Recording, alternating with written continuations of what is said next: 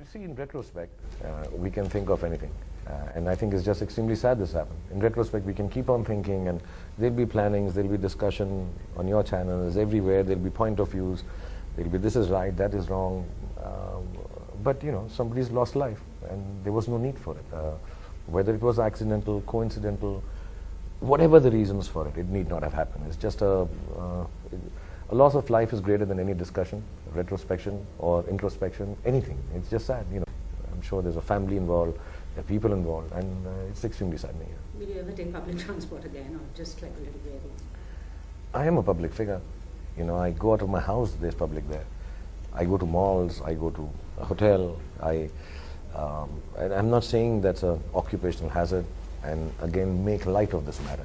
This is not a matter to be taken lightly. I, you know, when I go to colleges, I ask uh, lady bodyguards to be with me because women are involved. Uh, I take a car, 20 times I tell my people, nobody's to push anyone. Drive carefully. Yeah, it's okay if things go, get out of hand. Nobody should be hurt.